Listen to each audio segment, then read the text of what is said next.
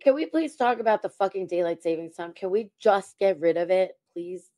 Or like the not the daylight savings, but like the standard time. Yeah, well, yeah, I don't understand. So, okay, my question is: Let's say hypothetically, if we were going to get rid of daylight savings time, would you want them to just leave it as it is right now? Yes. Just Leave it though. whatever Yes. fucking the, time it is. with like So we have the extra. So we so we we kill it with the clocks set to us having the extra hour of sunlight.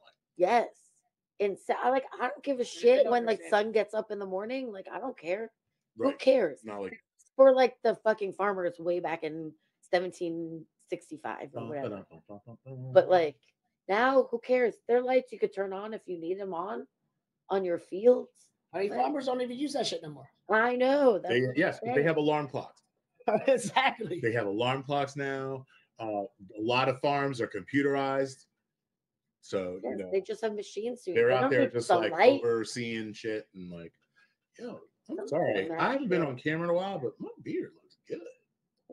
Good looking I'm beard. thinking about trimming this bad boy, but I'm like, Not as good as this guy's. I mean, you know, we got the fucking beard master. Right there, right there, man. Yeah, dude, totally. Yep, thinking the same thing.